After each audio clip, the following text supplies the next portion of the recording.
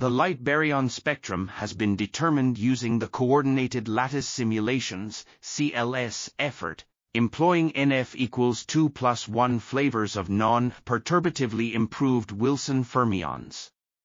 Three distinct trajectories were used to interpolate and extrapolate the hadron masses within the quark mass plane, with two of them intersecting near the physical quark mass point and the third approaching the SU-3 chiral limit.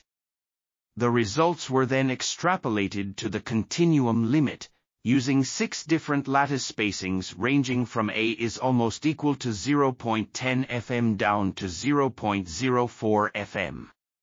The light pion mass varied from m pi is almost equal to 429 MeV down to 127 MeV.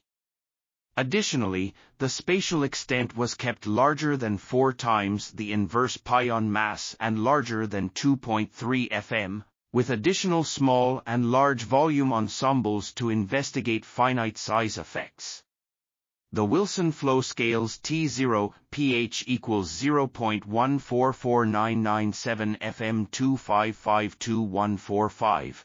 T0 asterisk is almost equal to T0 pH equals 0.144997 FM 2552145 and T0 asterisk operator is almost equal to T.